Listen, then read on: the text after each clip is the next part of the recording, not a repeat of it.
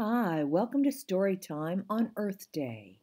Today I'm going to be reading Dee the Bee, written and illustrated by Delores Keaveney. Dedicated to the Bees.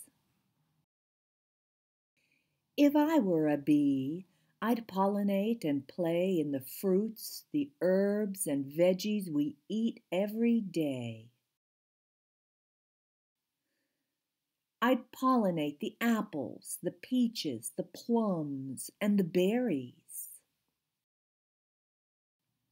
The limes, the lemons, and the grapes, the pears, the rhubarb, and the cherries. I'd pollinate the turnips, the pumpkins, and the peppers, the chestnuts, leeks and onions, the radishes and cucumbers. I'd pollinate the Brussels sprouts, the cabbage, and the celery. The nuts, the spices and the beans, the carrots and the broccoli. If I were out collecting food, I'd never make a sound. I'd pick up pollen on my legs and spread it all around. When the pollen drops inside the flower, it mingles with the seed. This is how you get the fruit. It's magical indeed. So now you see it's down to me to pollinate all these.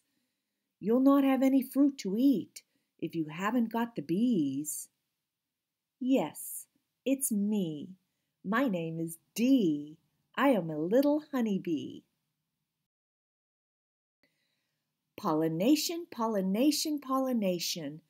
A very big word for consideration. Just look down below, read easily and slow, and you'll get the full explanation. As the bee visits a flower to collect food, pollen from stamens stick to its body. The bee then flies to another flower of the same type. Pollen on the bee's body sticks to a pistil of the new flower. This is how it works. First, there's the root system. All plants have a root system. The root system of a plant grows as the plant grows. It is connected to the stem of the plant that carries water and nourishment from the soil into the root and to the stem. The stem also has tissue called meristem which contains dividing cells, and they produce shoots.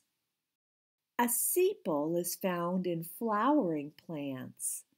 They're like small offshoots that tend to be green. Their job is to protect the flower buds and support for the petals when they bloom. Filaments exist to carry nutrients to the anther, where pollen develops. After the flower opens, the lengthening filaments facilitate access to the anthers and pollinating agents like bees.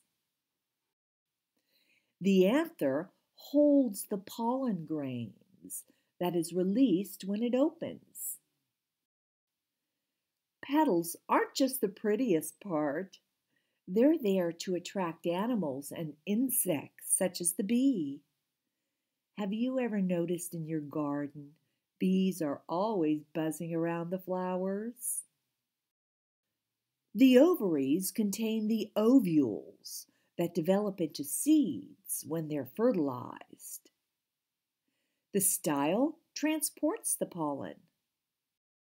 The stigma is where the pollen falls. It holds the pollen. Plant these flowers in your garden to welcome in the bees.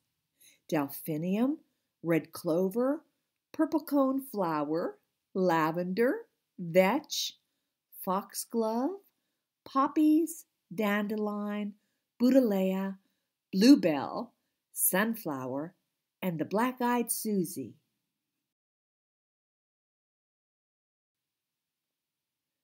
The end. And don't forget, look for the bees in your garden. Don't be afraid. Either walk away slowly or stand still and watch them. It's really very interesting what the bees do.